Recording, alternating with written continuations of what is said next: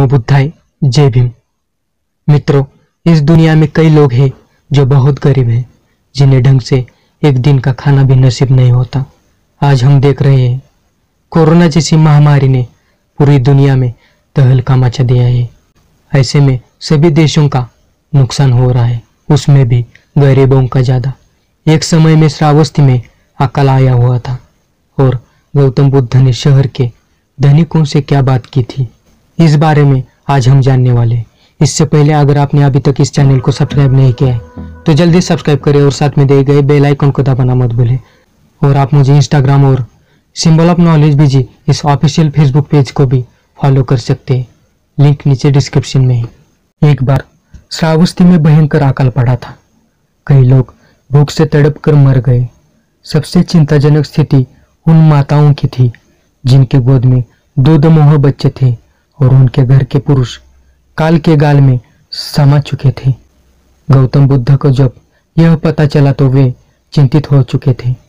उन्होंने तत्काल धनवान लोगों की एक सभा बुलाई और उनसे कहा, आप इन माताओं और उनके बच्चों की रक्षा करें। वहाँ उपस्थित लोग बोले, हमारे पास अनाज तो है पर वह एक वर्ष ही चल पाएगा।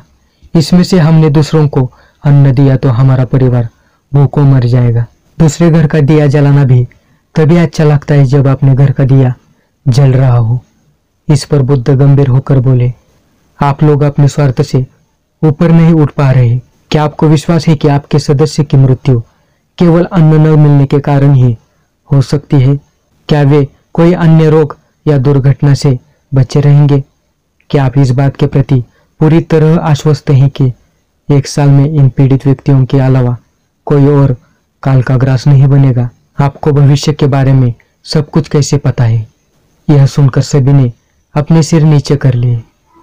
इसके बाद बुद्ध बोले, भाइयों, आपदाओं से मिलकर ही निपटा जाता है। यदि आप इनकी मिलकर सहायता करेंगे तो अकाल जैसी इस विपत्ति से मुक्ति संभव है। किंतु यदि आप इनकी मदद नहीं करेंगे तो जीवन भर कोई आपकी सहायता करने को भी तैयार नहीं होगा। याद रखिए विपत्ति में पड़े लोगों की सहायता करना ही सबसे बड़ा धर्म है। यह सुनकर श्रावस्ती के सभी सेठों और व्यापारियों ने अपने अनाज के भंडार खोल दिए। वे स्वयं भूखे लोगों में अन्न बांटने लगे।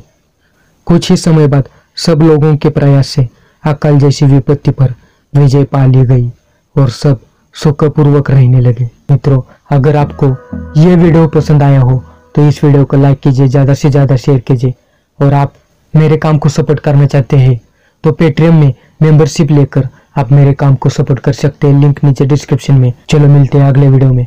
नमो बुद्धाय, जय भीम।